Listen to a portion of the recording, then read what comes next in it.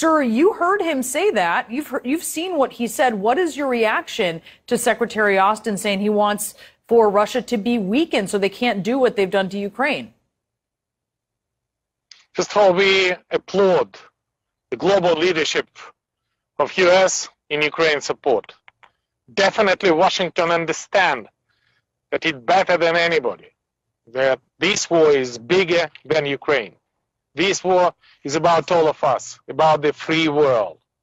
And the visit of Secretary Blinken and Secretary Austin is greatly symbolic move because the world is divided before and after 24th of February. And this visit is the first visit of high-ranking U.S. official after the full-fledged war in the capital of Ukraine. And it's extremely important to send a very powerful message worldwide that Ukraine is not only fight, we know exactly what does it mean, but Ukraine could win. And I thank, first of all, the volume of the United States support to Ukraine. This is a great example for the other world exactly from the beginning of Russian invasion and during the visit it was declared about 713 million additional. Still, definitely it is not enough. We need more. And we need more destructive sanction against Russia. And now we need hmm. oil embargo, gas embargo, maybe sea blockade, and uh, something similar with the oil for food uh, for Iraqi program.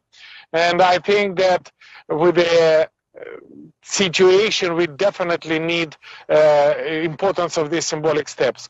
And I also uh, think that uh, we need deputinize Russia. We now doing the demilitarize Russia, and we now is a very powerful uh, NATO flank who is destroying uh, Russian uh, barbarian state.